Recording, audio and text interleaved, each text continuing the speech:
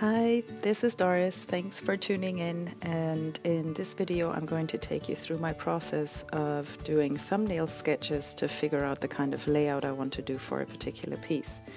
This uh, phrase, always endeavor to find some interesting variation, is one that Helm Wotzkow has used in his book about uh, hand lettering.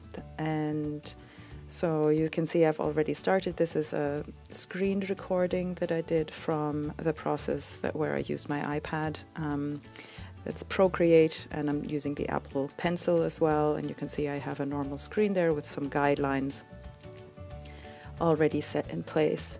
And so what I'm trying to do with this phrase is first of all figuring out which are the important words that I'm going to want to uh, highlight and then putting them in different variations and different layouts and with different styles to see which ones um, I'm gravitating towards, which ones I like, which ones I think are in my style, and which ones I'm, you know, happy with kind of refining.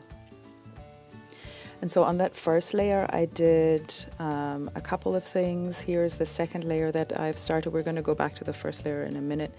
It's basically what I'm coming to find is I like scripts and I like round and swirly bits. So um, that's what I'm going to go for.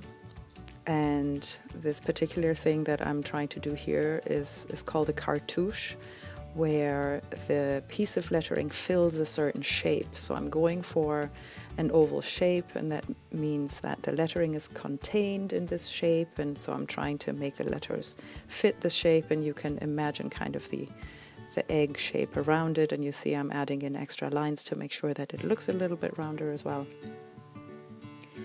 And um, yeah, so this is already kind of refining a little bit and going into what what's it going to look like. Do I want to keep it monoline? Do I want to add some different weights and some different contrasts as well? And if you know that I have the copper plate class on Skillshare, I'm a fan of contrast, so I'm always going to try a little bit of that.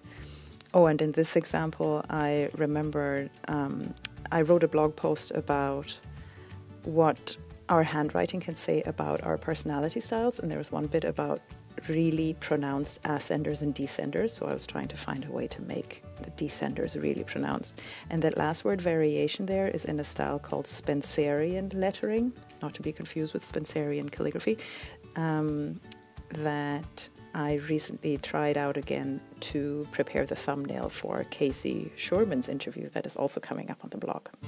So, anyway, so now I'm going over the different layouts, the different thumbnails that I've made. I always try to make it like three to five to give myself some time for exploration. And um, this one you can see is if I have the always in script is going to interfere with the layer below it. And the first one is kind of plain. Although what I do like about it is that the phrase is divided into five bits and they mirror one another. If you see that we have the all caps top and bottom row, and then we have a bit of script, and then we have a smaller all caps in the middle, so that there's nice symmetry. The one that I'm working on right there, the, the lower kind of cartouche, also, I love it. I love a good ligature. Um, but I could already tell trying to sketch it out that I would have to fidget and kind of overwork it to make sure that the, all the holes are filled. So this cartouche oval shape is the one that I decided.